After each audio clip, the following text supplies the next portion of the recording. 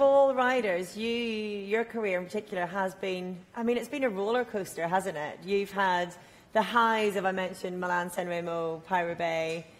um, and the terrible lows of the horrific training crash, and, and I guess now again the illness. Um, how do you balance all of that out? How do you keep perspective through, through the harder times? For me, the, the, the most important thing in my life is my family, and uh, this, this uh,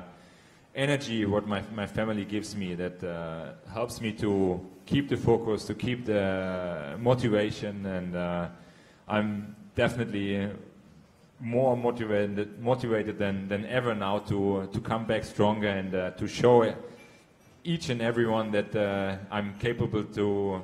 yeah, win again a classic, win again uh, a monument, but also show it to myself because uh, that's, that's of course my, my own ambition also and uh, I will, yeah, I will train uh, very hard this winter to uh, to be back in in the classics.